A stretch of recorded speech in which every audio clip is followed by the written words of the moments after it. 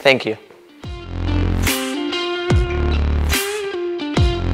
Well, the target for this 2023 season is trying to create a competitive bike and try to fight with the, with the top riders.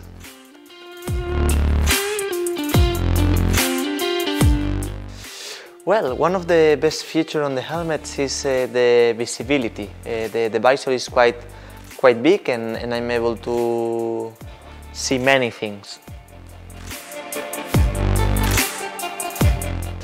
Well, uh, for sure the helmet is so important to, for the performance of the rider and needs to, to be fit at 100%, needs, the rider needs to be uh, comfortable with, with that helmet and especially I, I rode in, in Sepang test, uh, three days and sincerely I was feeling quite good with the, with the helmet.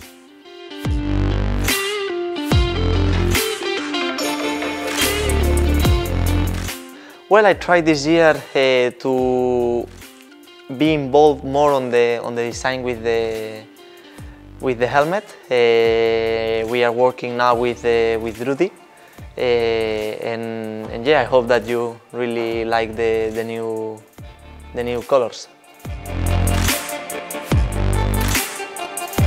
Sometimes yes. Sometimes uh, when I'm there in the box uh, before jump on the bike, I try to make two or three pumps on the on the air, and and it helps me to stay like more in my in my head, you know.